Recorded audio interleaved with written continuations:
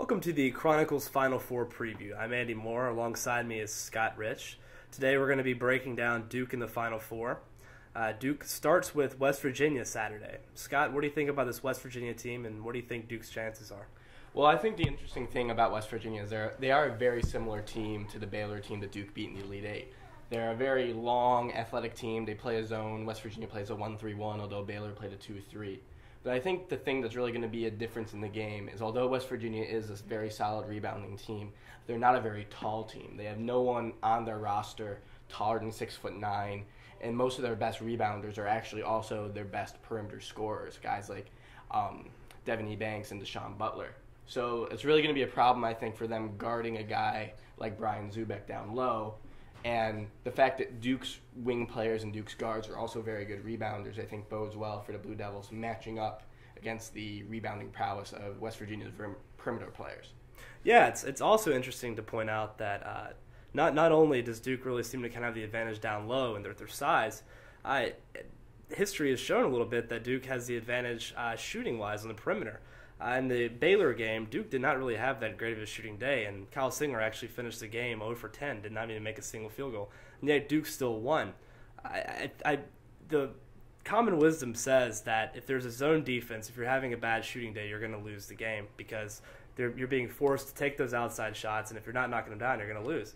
But Duke has shown that they're so good on the offensive boards that doesn't really seem to matter.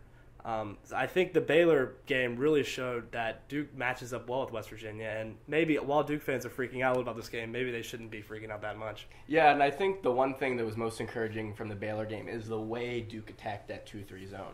If you really watched the game, Duke really didn't rely too much on trying, you know, to dribble through the zone. Yes, mm-hmm. Nolan Smith had some good penetration, but the way Duke beat the zone was passing it inside, passing it to Brian Zoubek or Lance Thomas on the high post, and passing out, working that inside out and working that rotation around the outside.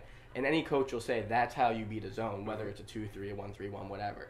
So that was very encouraging coming in. Again, the 1 3 1 is a very different type of zone.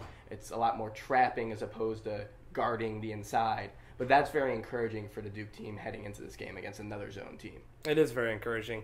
One wonders if Bob Huggins has anything up his sleeve. He's he's known for being a very very slick coach and a very smart coach, and so I'm sure he watched that Baylor game and he might be seeing something that we hadn't seen yet. Uh, moving on, though, uh, Duke, if they beat uh, West Virginia, will be playing either Baylor or, sorry, excuse me, Butler or uh, Michigan State in the national championship game on Monday. Uh, Scott, in your opinion, which team do you think Duke uh, would most like to face in that game?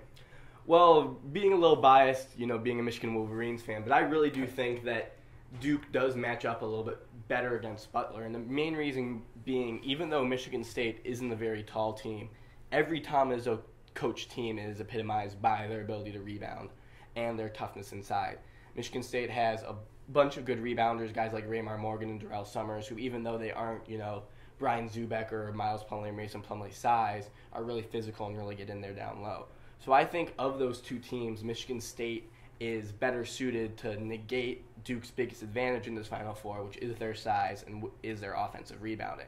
Now, Butler is also a good rebounding team. They have really good players like Gordon Hayward and Matt Howard. But again, I think in terms of matchups, Duke would rather play a team that they can work the ball inside, which has become what defines this team this year, as opposed to a team like Michigan State that can probably battle with them down there a little bit more. Hey, you know, it's interesting. I actually uh, disagree with you here. I think that Duke would uh, rather face uh, rather face Michigan State here. Michigan State obviously missing their, their star point guard, and they really don't have many scorers other than other than Summers and Morgan. Uh, Morgan is playing very well. He's had he's averaging a double double in the tournament, but I, I, I, while I think he would have given Duke trouble in the past when Duke is not deep down low, I, this is just as we've said just over and over again. It's a totally different Duke team down there, and I really think by running a rotation of the big four down there, I, I really see him being stopped. I now, think you just coined a new term there, right the there. Big Four. Big Four, yeah. yeah. How about that? Copyright that. the, if if Duke it does run into trouble, Michigan State will be through Durrell Summers. Summers reminds me a lot of these quick athletic guards that uh, Nolan Smith and Jon Scheyer had trouble guarding this year. You think of think of Greivis Vasquez, you think of the Georgetown crew. Um, but I think you know if if they're able to stop that, and again if Duke is able to shoot the ball decently, uh, I think that it'll be probably a preferable matchup for Duke in the national championship game. So uh, so so saying again that we get past uh, West Virginia, who do, who do you think is going to come out in the national championship, and what do you think the score will be?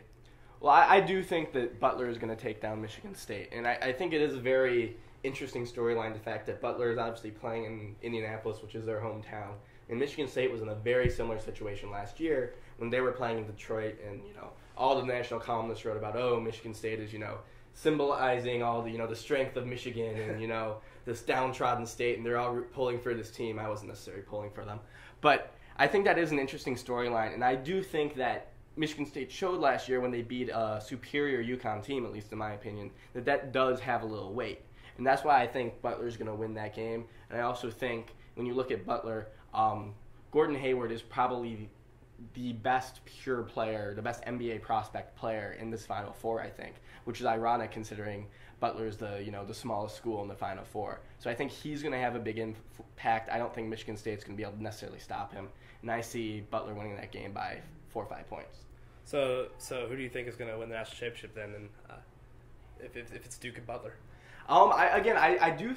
I'm cautiously optimistic about Duke's chances here. I think that none of these teams in the Final Four match up with Duke down low, and that's something we would never say is an advantage in the past. If you know we were playing a team like Kentucky or a team like Kansas, it would be a much different story.